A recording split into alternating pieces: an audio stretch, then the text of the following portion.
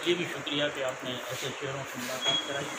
जब आपने फ़ोन किया, मैं फ़ोन कर देखा तो महसूस किया कि सारे हमारे अपने दोस्त और जाने पहचाने। उसके बाद तो मैं कैमरा कामर्स के नए दोस्तों को मिलकर होने पर बार पेश करता हूँ और आपके लिए दुआ भी हैं। अल्लाह आपके लिए हिम्मत दे कि जो मकसद आप लेकर आए हैं खदमात का कि बिज़नेस के हवाले से अल्लाह ताला कामयाबी दे। तजुर्बेकार लोग भी आपके साथ हैं साईं तयम साहब अमन साहब। तो यकीन इनके तजुर्बे से भी आपको फ़ायदा होगा। अयूब साहब भी माशा सीनियर हैं।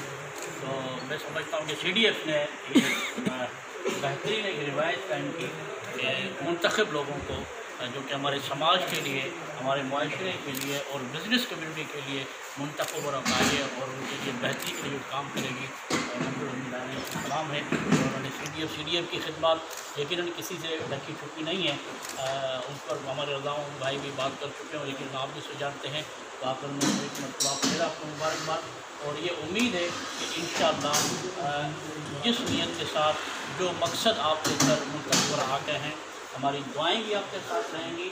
और सी डी एफ़ समेत सकरण की मीडिया भी इंशाल्लाह ज़रूरत पड़ेगी तो आपके साथ रहेगी। बहुत बहुत